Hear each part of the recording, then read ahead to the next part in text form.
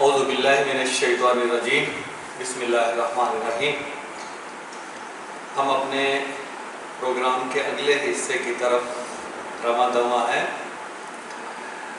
اس سے گزشتہ دو حصوں میں ہم بحث کر رہے تھے کہ جو اردو ہے، وہ صرف شاعری کی زبان نہیں، سائنس کی زبان بھی ہے۔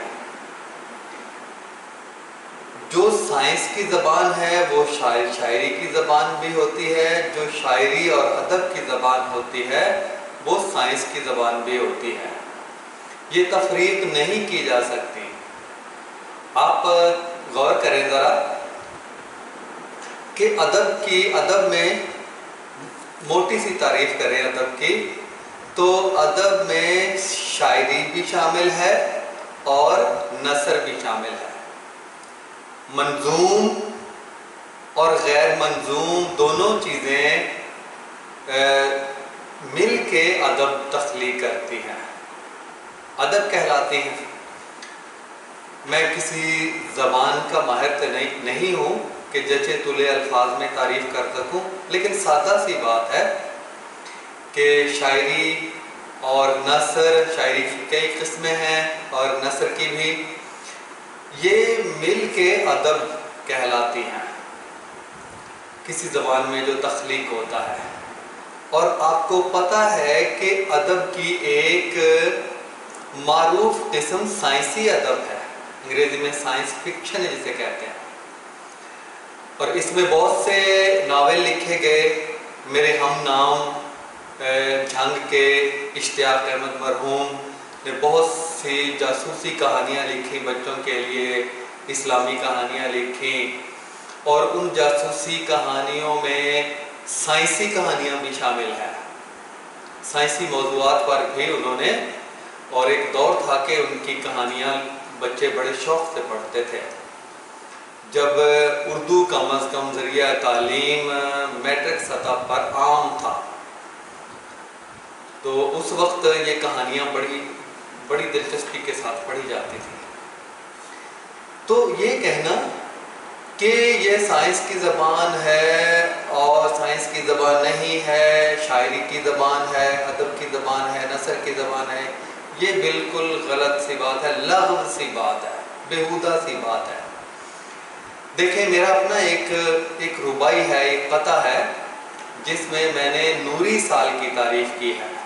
نوری سال کہ وہ وقت جس میں روشنی ایک سال میں سفر کرتی ہے۔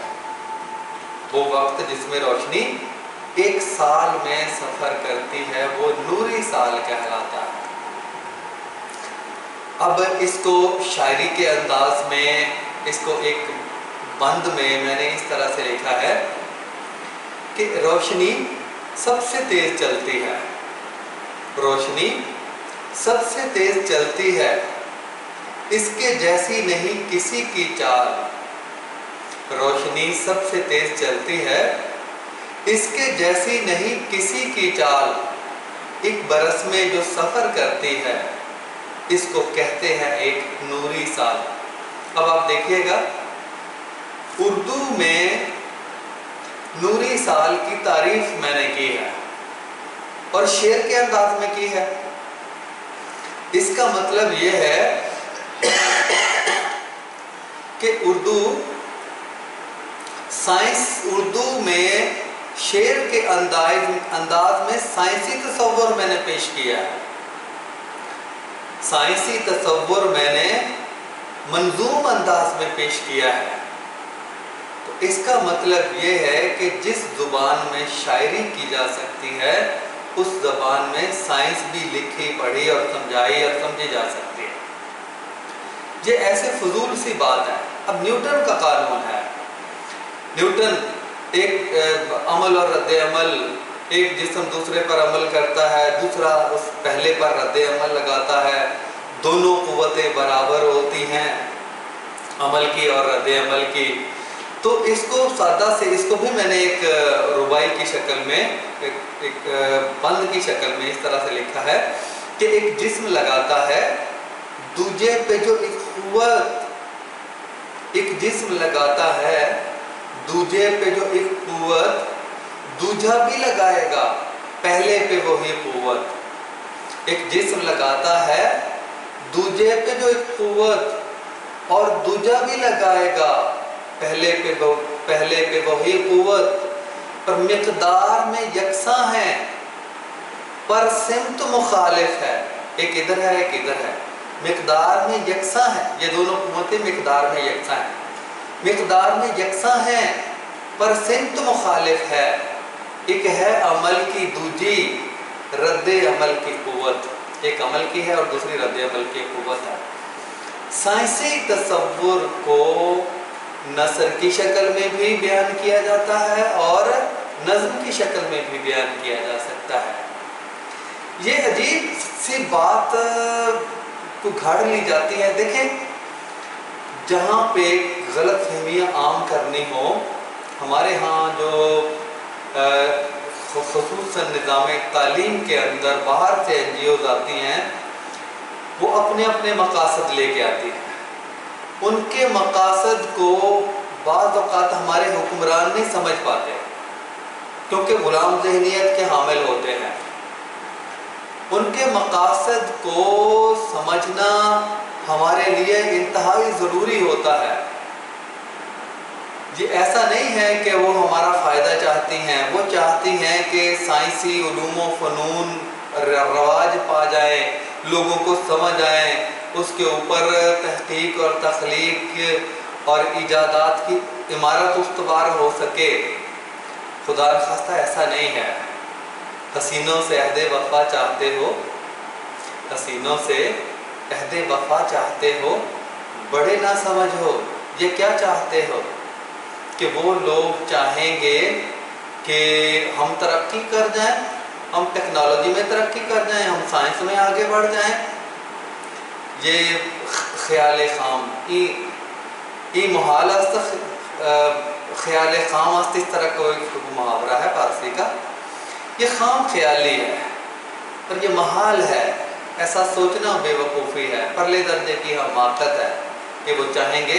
وہ بیانیے اس طرح کے، اس طرح کے بیانیے، یہ پاکستان کے اندر شوشے چھوڑتے ہیں۔ جو عام لوگوں غلام لوگوں کے ذہن میں پیوست ہو جاتے ہیں اور وہ بھی سمجھنے لگتے ہیں کہ شاید ایسا ہی ہے کہ اردو جو ہے وہ یہ صرف شاعری کی زبان ہے اور ناول لکھے جاتے ہیں، سائنس کی زبان نہیں ہے۔ بالکل یہ حماقت خیز نظریہ ہے۔ اور اسی طرح نیوٹن کا پہلا قانون، اس کو بھی میں نے لکھا ہے کہ ساکن پڑا ہے جسم جو ساکن پڑا رہے۔ ساکن پڑا ہے جی، جسم جو ساکن پڑا رہے، حرکت جو کر رہا ہے، وہ حرکت میں ہی رہے۔ ہم کہتے ہیں نا عام زبان میں کہ جو جسم ساکن ہے، وہ ساکن ہی رہے گا۔ جو حرکت میں ہے، وہ ہمیشہ حرکت کرتا رہے گا۔ ساکن پڑا ہے جی، جسم جو ساکن پڑا رہے، حرکت جو کر رہا ہے، وہ حرکت میں ہی رہے۔ پر شرط ایک لگتی ہے، یا اس قانون پر پر شرط ایک لگتی ہے، یا اس قانون پر باہر سے اس پہ کوئی نہ قوت لگا کرے۔ کوئی بیرونی قوت کی عدم موجودگی میں ساکن جسم ساکن رہتا ہے اور متحرک جسم یکساں ولاسٹی کے ساتھ حرکت کرتا رہتا ہے۔ یہ عام تعریف ہے جو ہم کرتے ہیں۔ نثر میں بھی اور نظم میں بھی تو یہ بات، یہ کہنا کہ سائنس کی زبان، یہ اردو شاعری کی تو ہو سکتی ہے، سائنس کی نہیں ہو سکتی۔ یہ ماضی ماضی کے بھی خلاف ہے۔ ماضی بھی گواہی دیتا ہے کہ یہ سائنس کی زبان رہی ہے اور حال بھی گواہی دیتا ہے کہ یہ سائنس کی زبان ہے۔ ہم پہلے آپ کو بتا چکے ہیں کہ انیس سو سترہ سے لے کر انیس سو اڑتالیس تک کم و بیش پانچ سو کتابوں کے ترجمے ہوئے اردو کے اندر اور جامعہ عثمانیہ حیدرآباد، اس میں کھیپ نکلی ہیں، ایک سے زائد کھیپ نکلی ہیں ایم بی بی ایس کر کے، ماسٹر کر کے، انجینئرنگ کر کے اردو کے اندر۔ اتنا بڑا کام ہو چکا ہے۔ ماضی ہمارا گواہی دیتا ہے کہ اردو سائنس کی زبان ہے۔ صرف شاعری کی نہیں ہے، پھر اتنی بڑی گواہی کے باوجود یہ لوگ جسارت کرتے ہیں۔ جی یہ تو یہ تو شاعری کی زبان ہے، سائنس نہیں اس میں پڑھی جا سکتی۔ اور ہمارے ہاں پنجاب میں جب سے ہم نے ہوش سنبھالا ہے، ہم نے پڑھا میٹرک میں، ہم نے اردو میڈیم پڑھا ہے۔ اور کراچی میں اردو سائنس کالج پورے سندھ میں لوگوں کو اجازت ہے کہ ایف ایس سی بھی اردو میں کریں اور Urdu science university master degree تک اب علوم اردو میں پڑھے جا رہے ہیں طبیعت بھی، کیمیا بھی، حیاتیات بھی۔ تو ماضی بھی گواہی دیتا ہے اور حال بھی گواہی دیتا ہے کہ یہ بات لغو ہے، بےحودہ ہے، غلط ہے، حقائق کے خلاف ہے، جھوٹ پر مبنی ہے دروغ گوئی ہے۔ یہ سامراجی این جی اوز کی پھیلائی ہوئی غلط فہمیوں پر مبنی ہے۔ الحمدللہ اردو سائنس کی زبان بھی ہے اور اردو شاعری کی زبان بھی ہے اور ادب کی زبان بھی ہے۔ ہر طرح کے خیالات اس کے اندر سموئے جا سکتے ہیں۔ یہ تمام قسم کی تحقیقات کو اردو کے سانچے میں ڈھالا جا سکتا ہے۔ ہر قسم کی تخلیقات کو اردو کے ساتھ وابستہ کیا جا سکتا ہے۔ تحقیق، تخلیق، ایجادات سب کچھ اردو کے ساتھ وابستہ ہے۔ تو یہ ایک ایک ایسی بات ہمارے جو غلام اور سامراجی ایجنٹ حکمرانوں کے دماغوں میں ڈال دی جاتی ہے اور اس کے لیے مشرف جیسا آدمی مشرف جیسا جرنیل، حکمران اور اس اس کے وزیر ان کے ذہنوں میں یہ غلط فہمی ہو تو عام لوگوں کی تو بات ہی کیا ہے؟ عام ان پڑھوں میں ایک بیانیہ پھیلا دیا جاتا ہے، مجھے یاد ہے کہ دو ہزار سات میں میں اپنے والد کے ساتھ، اپنے مربع کھیتوں میں ہم کام کر رہا تھا کہ جب بھی چھٹی ہوتی تھی تو میں آ کے والد کے ساتھ چھٹی والے دن سارا دن کام کرواتا تھا، کھیتوں میں۔ تو میرے والد صاحب وہ چیرنی لگا رہے تھے، ہاتھ سے چارہ کترنے والی مشین۔ پیچھے چیرنی ہم کہتے ہیں، اس کو جو دتھا لگانا بھی کئی لوگ کہتے ہیں کہ جو چارہ کترنے والی مشین کے پرنالے میں جو چارہ ہے، وہ رکھا جاتا تھا اور پھر ایک آدمی اس کو آگے سے کترتا تھا۔ تو اس ہمارا ساتھ میرے والد صاحب ریڈیو کے شوقین تھے، ہم بھی شوقین تھے، بچپن سے سنتے آ رہے ہیں ریڈیو۔ ساتھ ریڈیو پڑا ہوا تھا۔ پرویز الہی صاحب کا دور تھا، وزیر اعلیٰ تھے پنجاب کے۔ تو اس وقت پڑھے لکھے پنجاب کا بڑا شور و گوگا تھا۔ اور میں دیکھا کہ میں تقریباً پندرہ منٹ تک میں چارہ گزرتا رہا ہوں اور پندرہ منٹ میں چار دفعہ اشتہار چلا ہے۔ پڑھا لکھا پنجاب، پڑھا لکھا پنجاب۔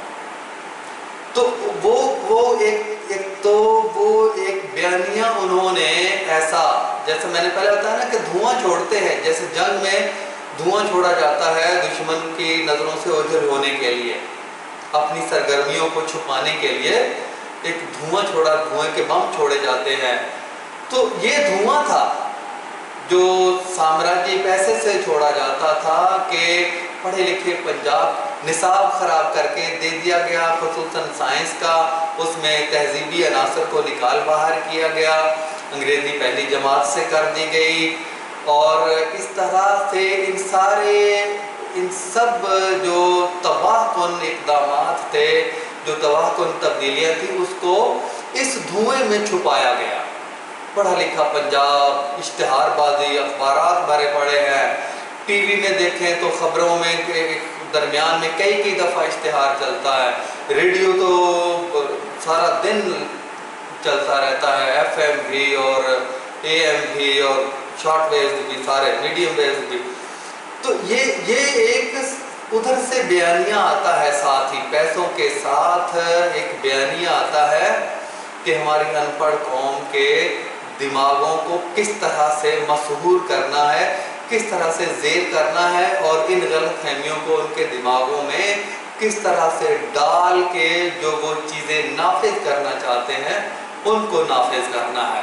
تو ہم اس موضوع کو بھی ایک دو اور ہمارے اپنے پروگراموں میں اس کا احاطہ کریں گے۔ تو میری اللہ سے دعا ہے کہ اللہ تعالیٰ ہمارے اس طرح کے حکمرانوں سے چھٹکارا عطا فرمائے۔ اور ہمیں کوشش کر، کرنی چاہیے جد و جہد کرنی چاہیے کہ اس طرح کی جو غلط فہمیاں پھیلائی جاتی ہیں، ان کو، ان کی حقیقت لوگوں کے سامنے بیان کریں اور ذرائع ابلاغ کو جس حد تک ہم استعمال کر سکتے ہیں، ہمیں استعمال کرنا